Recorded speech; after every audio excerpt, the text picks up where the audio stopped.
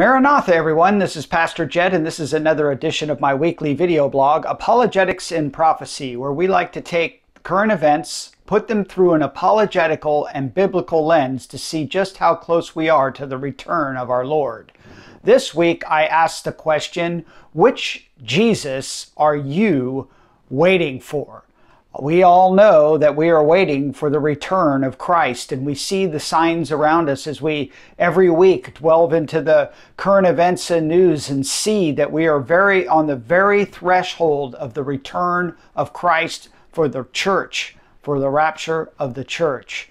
And we know, though, that when asked about that by his disciples at the Olivet Discourse, Jesus said to them right away before he said anything about the signs that would be uh, seen right before his return, he would say, Take heed that no one be deceived.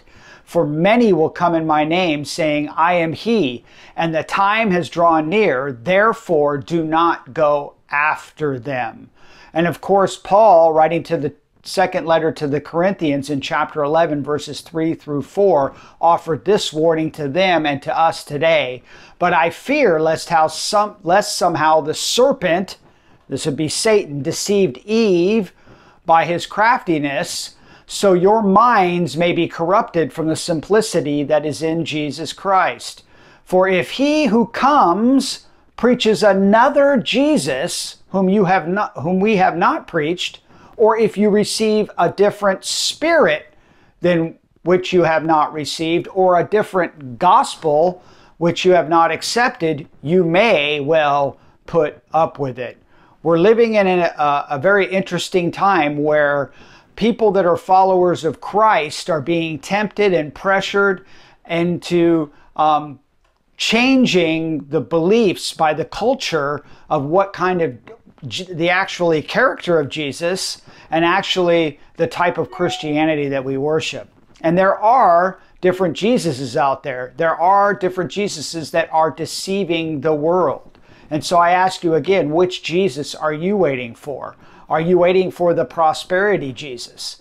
The Jesus that you come to and offer your life to only if he gives you health and gives you wealth and gives you great prosperity and power and those things that your flesh desires. There are those on TV that preach that kind of Jesus, that say that if you're not healthy and wealthy, that Jesus is not blessing you. That is not the Jesus of the Bible, and it is not the Jesus that I am waiting to return. But is that the Jesus you're waiting for? Is it the liberal Jesus that you're waiting for? The one that's okay with your lifestyle and the, the sinful choices that you're making with your life? The one that culture and the current administration of our government is trying to push towards us that we should evolve and start accepting different things that the Bible calls sin as being okay with Jesus. Is G, are you is it a liberal Jesus that you're waiting for? Is it a Jesus that's going to be okay when he returns to see what kind of life you're living? What about a less than God Jesus? There are many uh, cults that are out there that teach that Jesus was not God and that he is just a, a good teacher and a man, and he didn't really, he wasn't really all God.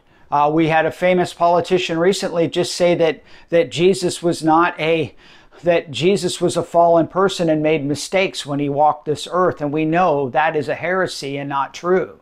So I ask you, which Jesus are you waiting for? Because the world right now is looking for an earthly Messiah. Is that the Jesus that you're looking for? One that is going to fix all your problems here on earth?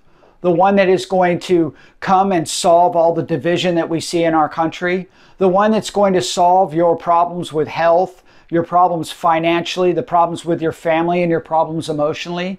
Is that the Messiah that you're looking for? Because there is going to come a Messiah that's exactly what you want. And we know that he's coming because in 2 Thessalonians chapter 2 verses 9 through 11 we read, "The coming of the lawless one is according to the working of Satan, with all power, signs and lying wonders, and with all unrighteousness and all unrighteous deception among those who perish because they did not receive the love of the truth that they might be saved." And for this reason, God will send them strong delusion that they should believe the lie. And so this Messiah is going to come on the scene and he's going to be smooth talking. He's going to be charismatic. He's going to be popular and he's going to seem to have all the answers to the things that are plaguing you today. He's going to seem like the one that we should put our faith and trust in. He's the one who's going to help us through these problems that we're going through. And we know that that person that Messiah the Bible calls the Antichrist. And it's not Antichrist as the opposite of Christ, it's Antichrist because the world is going to choose him instead of Christ. He is the one that opposes Christ, and he's the one that people are going to choose instead of a relationship with Christ. It's the Messiah that they've been hoping for. The only problem, though, is he's going to deceive them. It says in Revelation chapter 13, verses 3 and 4, and I saw one of his heads as if it had been mortally wounded, and his deadly wound was healed. And all the world marveled and followed the beast. So they worshiped the dragon who gave authority to the beast. And they worshiped the beast, saying, Who is like the beast? Who is able to make war with him? So this person's going to come on the scene. He's going to have all the answers. He's going to seem miraculous in his actions. He's even going to somehow um, make it look like he had came back from the dead, just like Jesus did. And people are going to wonder after him and actually worship him because he is going to say and deliver to them uh, an idea that he has all the answers for them. He will be the earthly Messiah that many of you, and maybe in your ignorance, maybe in just uh, pressure from the, the culture around you, have decided that that's the Messiah that you're waiting for. But you need to understand that that is a deceptive Messiah. That is not the true Messiah. It's not the Messiah who came the first time, who lived, who was born of a virgin and lived a sinless life, who lived a perfect, sinless life for one purpose. And that one purpose was to die, to die on a brutal cross, to take upon himself punishment that no one could even imagine, being beat beyond recognition by Roman soldiers, being dragged before the masses as they shoot they shout crucify him crucify him made to carry the cross to the place of his crucif- place of his execution where crucifixion where he would be nailed to this cross and dropped into a hole on a beam where he would suffer some of the most cruelest torture ever invented by man, where he would actually die and that he would be left for dead by the masses. It says that he was he was uh, that no one even esteemed him and that he would be left there and taken down off that cross and put in a tomb where the stone would be rolled against it where he would he would be ultimately left to just rot away but we know that he had a purpose, that there was a, a, a, something that he needed to accomplish, and that was when he was dying on that cross, he was paying for the penalty of our sins, because we have all sinned and fallen short of the glory of God. See, we as humans, when we look for an earthly Messiah, we deserve the Messiah that's coming. We deserve this lawless one that's coming because we have rejected God, decided to go our own way, and live according to our own desires and our own lusts of the flesh. And we are getting what we deserve when the Antichrist comes on the scene. Not realizing that Jesus Christ, after he was left in that tomb, rose again from the dead in victory over sin and death. That he ascended and now he sits at the right hand of the Father, ever living to make intercession for those who have put their faith and trust in them. And then at one moment, coming in the near future, the Father is going to tell the Son, it's time.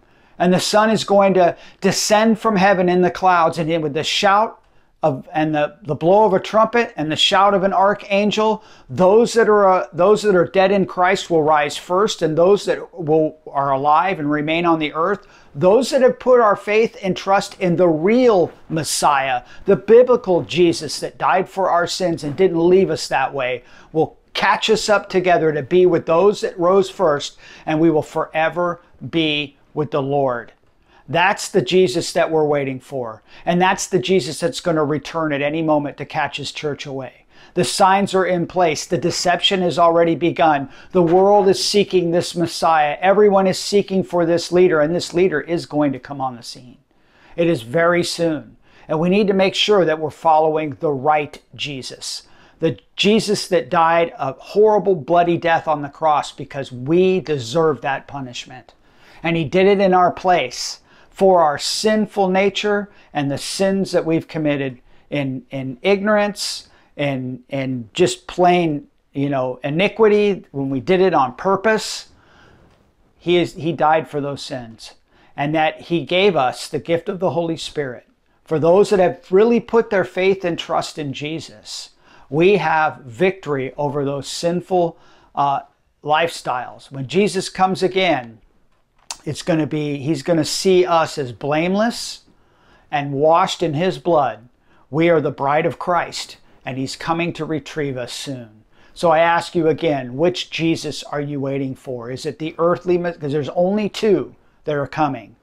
The one that's coming first is Jesus Christ, coming to retrieve his bride from the earth before seven years of hell is unleashed upon this earth. And there'll rise another Messiah then for those that are left behind. And that will be the earthly Messiah, the lawless one, the Antichrist, who will deceive and fool the whole world that he is the Messiah, the instead of Christ, in opposition to Christ. And he will cause everyone to worship him. But those that take that mark will be doomed for eternity in the lake of fire. But there is a way that you can escape the, the, the deception of this lawless one, and that is by putting your faith and trust in Christ today. That you would get on your knees and realize that you're a sinner, that the lifestyle that you choose to live, and maybe you've been worshiping the wrong Jesus and you need to repent from the prosperity Jesus or the liberal Jesus or the less than God Jesus. And you need to come at the feet of the real Jesus, the God man, the one who died for your sins, and beg him to forgive you of those sins and ask and realize and recognize that the finished work that he did on the cross for you paid for those sins in full, past, present, and future. And ask him to wash you clean because he will not leave you as you are. You will find that there'll be a change in your life and that God will wash you of those sins that you've been struggling with and give you victory over them according to the Spirit of God that now lives in you. If you do that, you'll have a, you'll have your ticket to come when the first Messiah comes, and you won't be deceived by the second one. And for those of us, we need to examine ourselves, make sure that we're not breaking the second commandment by making a God into our own image trying to make a Jesus that fits our lifestyle, that fits the way that we want to be, because the culture is going to command us to worship the Jesus that they've created. It's happening now in our government. It's happening now in our culture. It's happening now in our colleges. And it's coming to a church near you. So you need to read your Bible. Make sure that you're following the right Jesus praying that He's changing you and giving you eyes to see and ears to hear the truth of the Word of God, that He is coming again to judge this world in righteousness, and that only those that have been washed by His blood and have the and and are cleansed with His blood and covered by Him will be able to stand in that day. And so, Lord, I just I just want to encourage you all to continue on to take a stand now while we can for the real Jesus. Proclaim him, preach him, live for him, tell your family because the time is short. We know, we see the clock ticking. We know the end is near, and we know Jesus is coming again. So, with that said, I'm going to wish you all a good weekend. Thank you for watching. God bless you in the name of Jesus. And as we always end with the same way we start, Maranatha.